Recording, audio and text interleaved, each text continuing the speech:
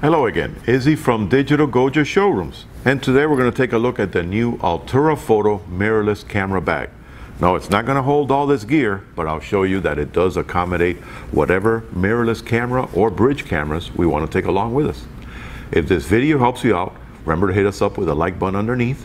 And as always, subscribe to our channel for future sessions, tutorials, and unboxings such as this. And when in Miami, visit Digital Goja Showrooms.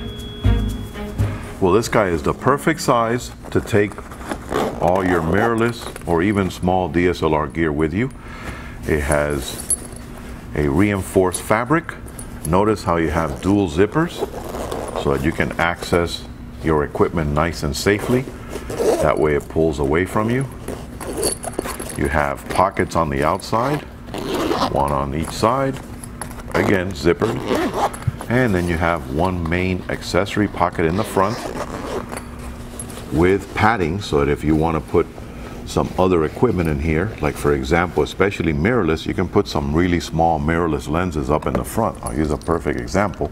I have a really nice small prime here, which can actually fit in this section right here.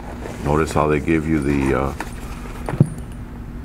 the elastic band area and you have the added benefit of a pocket there with padding.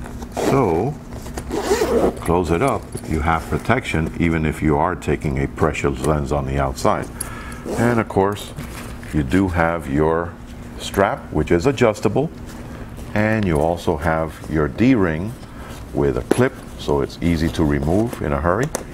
And they reinforce the padded handle on the top. So all in all, very well put together. And now let's take a look at how much we can fit in here. We have plenty of room.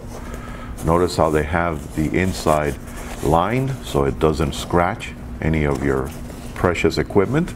And you have yet another pocket up here where they also gave you the, the enclosure to protect against the zipper. So that way, when you close it up, you're not going to scratch any of the camera gear that you put in there. So your camera gear moves around. You want to keep it nice and secure with the divider, which can be removed altogether. But if you're taking smaller equipment, like some of these smaller mirrorlesses, you have enough room there so you can actually take an additional lens. And of course, you have your exterior pockets for your filter kits, your cleaning supplies, and if I also want to, I can fit on the top here. In this section I can put my accessory holder for my additional memory cards and extra batteries. So all in all plenty of room. Oh, can't forget my charger. Let me add that in there. And if I choose to I can even take my nice portable mini tripod with me and I can do some longer exposure shots. And let's say for example you're not into the mirrorless market and you're working with something as simple as what they call a bridge camera in today's world well you have room for that too. I can fit my SX60 HS in here. Let me move this around again. That's the beauty of velcro. I can adjust it to my liking. I usually like to pull the camera out this way so I can now readjust this and again take more accessories with me. Close it up. And again, take advantage of the dual zipper because this way, when you're wearing it, you can open it away and it keeps prying eyes from taking a look at your precious equipment. And if, again, you still are not in the mirrorless craze, and you happen to have a smaller DSLR, here I have a very popular Canon T6. Move this around. Again, the beauty of Velcro, you can either take it out completely or readjust it to give you the added protection.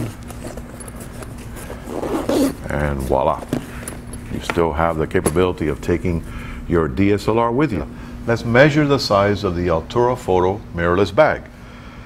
The length externally is 9.6 inches. The height is 6.1 inches and the width is 5.9 inches. And then the internal measurements are different. It's 7.5 by 5 by 5.75. What do all these numbers mean? Well, these numbers mean that you can fit, of course, mirrorless cameras, but you can also fit small DSLRs like the D3200 and other ones in that series with a small lens. This one happens to have a 50 millimeter and notice how you still have room for something else.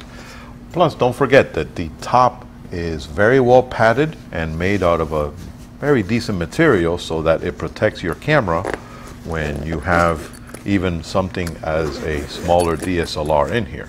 So you do have the added protection of the top in case something falls on it.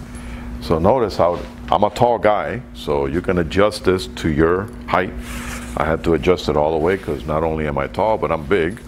And you want to wear it this way because you want to take advantage of the dual zipper so that when you open it up, prying eyes aren't seeing the equipment you have in here. You take out your camera, shoot, shoot, shoot, and place it back in here. And that way you can either just close the flap or you can flip it over and zip it back up again. Now this is just hanging on the side. I usually like to put it across my shoulder. This gives me a sense of stability. To me, it's a lot more stable to carry. And again, you still have the capability of using the zipper design. I like to open up just one side so I can just pull out the camera, fire away, and slip it back in here. So, the Altura Photo mirrorless photo bag. Take a look at it. This is definitely going to help you out to take all your gear with you. Happy shooting!